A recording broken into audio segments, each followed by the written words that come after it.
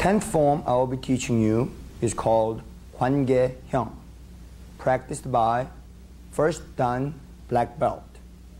Kwon Gye is named after a king called Hwange Towang during Goguryeo dynasty.